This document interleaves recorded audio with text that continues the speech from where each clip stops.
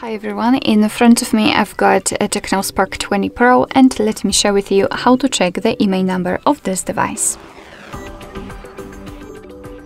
So let's start with the fastest way uh, through the secret code, so let's open the dialer and enter the code which is asterisk pound 06 pound.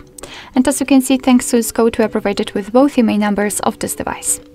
So now let me show you another way through the settings, so let's tap on them and here we have to scroll to the top to find my phone. And here let's scroll down to enter more information. Now let's tap on phone information and as you can see here we've got both IMEI numbers for both SIM slots. Alright, so that will be all. Thank you so much for watching. I hope that this video was helpful and if it was, please hit the subscribe button and leave the thumbs up.